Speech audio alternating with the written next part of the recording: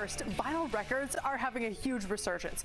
If you've ever kind of wondered what goes into making a record, the largest record pressing facility in Texas is in Addison. Take a look.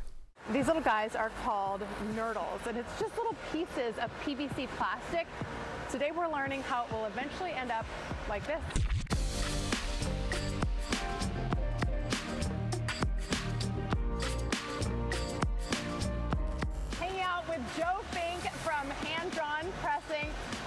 Take us through the process. I'm ready to learn. What's first? Let's go. You showed the uh, the nurdles. Yes. And the finished product. This is how we get there. Okay. So inside these little tubs right here are those nurdles that you were showing a while ago. Yeah. They're just filled up, and they come up the extruder. As they get up here, they're creating what we call a puck in the industry, and we've got labels for the top and labels for the bottom. We open up right now, and this is going to grab the puck and the labels at the same time, and it moves directly into the press. That goes under pressure, where hot water comes in and helps to seal the record as the wax moves out as it's under press. And then the press will open back up, and when it does that, the swing arm will reach in and pull it over to the trimming plate. Love it. Once we get on the trimming plate, it cuts off the excess flash. That material comes off, it's hot, it's pliable, and we take it and recycle it and make more records out of it. You so, do. This is so satisfying too. Just to play with this, it's like grown-up Play-Doh. but a little warmer. So after we come off the press, we're on these spindles here. Yeah. And Scully, he's like our QC guy. He's taking the first look at the records. He is our first customer. If he sees anything on that record that he wouldn't want on his record at home, we fix those. We find out what the flaw is, how to resolve it, and put out the best possible product that we can for our artists. Yeah, super detail oriented. You were saying it's like they put all this work into it for possibly years, and then you're the last process, so it's got to be perfect. Yeah, they, they trust us to bring their product to a real life, a yeah. real tangible thing.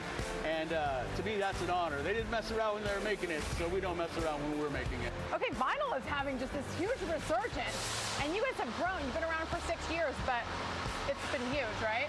We, it's been steady growth the whole time. Yeah. You know, uh, we always try to go bigger and better every year, take on more customers, challenge ourselves to uh, make that product and, and, hit those numbers. We started off with two machines uh, six years ago.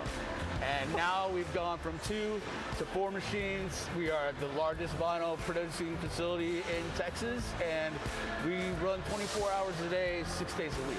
Okay, what part of the facility are we in now? Right now, this is our, our packing facility, and uh, everything's done with human hands. The records go into the sleeve by hand, they go into the jacket by hand, and they go into these poly bags even right here okay. by hands. Final phase, before it goes out the door, what's happening here? So we've gone through the shrink wrap. Yeah. Uh, everything is good to go.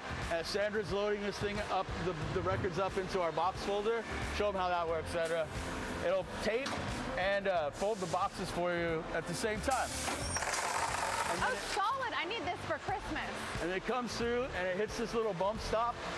And as it passes Benny and the Jets here, this is our jet printer, it puts all the information that you need on the side of the record for the distribution houses.